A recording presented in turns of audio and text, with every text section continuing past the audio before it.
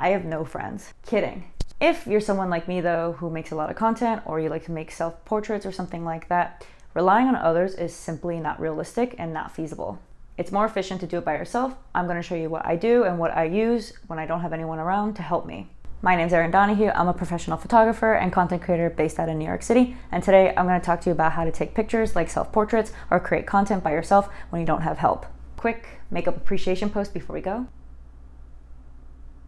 Okay, leg up. If you've watched What's in My Camera Bag video, most of these items should be familiar to you. Tripods are your best friend in order to take your own pictures and get your own content. Here, I'm only showing my phone tripods because my camera tripod was in use while making this video. Obviously, a phone or a camera to capture. I have a second phone that I use for behind the scenes content. This isn't necessary, but since I create short form video like TikTok and Instagram Reels, it's to make more compelling video, which includes BTS. Painter's tape, especially for transitions and I need to mark the ground and be in the same spot measuring tape so that measuring the distances at different locations are the same and it looks aligned in videos, but I rarely end up using it since it's too much effort. Bringing a string that's one length will do too. This is what my setup typically looks like. I record either with my camera or phone and then have a second phone to capture the BTS behind the scenes. For the demonstration of this video, I recorded the recording setup so you have a visual. this is what I do for both indoor and outdoor. It might seem like a lot of gear, but to me it's not, and I intentionally try to use things that are light since walking around with extra weight can add up and be exhausting. Now, there are multiple ways you can get the shot you need, especially if you're using a camera. I'm a Sony user, so I can only speak to their cameras, but I'm sure the other manufacturers should have similar features. The first option is using the Imaging Edge app. This is Sony's product for transferring still images or video to a smartphone or tablet and being utilized like a remote control so you can see it from your phone. This is what I use it for the most. The Wi-Fi connection can be finicky though between camera and phone, which causes frustrating delays at times. That being said, this is still the best option in my opinion because I can see how to position and angle myself. The next is the interval shooting function. I love this function and mainly use it for time lapses without needing an external remote shutter.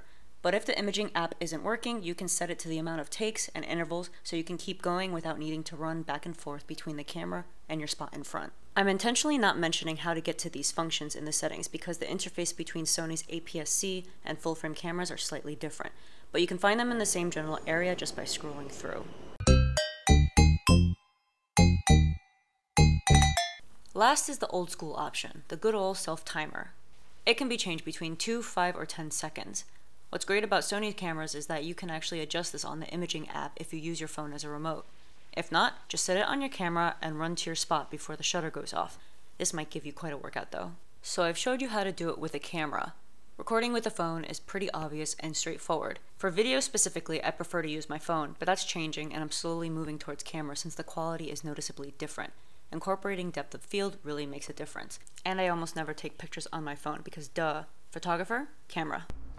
So it's easy to do all this from the comfort of your own home, and especially when you have a streamlined process. But what if you're outdoors in public and you want to get a shot in front of the camera, but you're worried about like judgment, stares, um, or even safety? Something I always tell myself is I'm never going to see these people again if judgment is the issue. What matters to me more is getting the content that I want, the pictures that I want. Now, if it's something like safety, that's of course very situational, and you need to weigh the pros and cons if it's even worth to do it.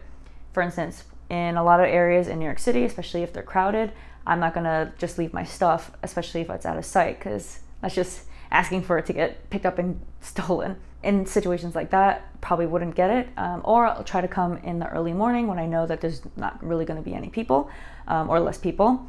Again, you have to really weigh, weigh the pros and cons and if it's even worth it. Many times, if it's not worth it, like don't risk it.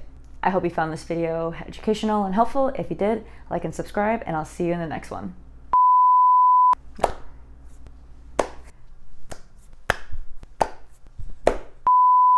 Because you're independent and you don't need nobody. That was the whitest thing ever.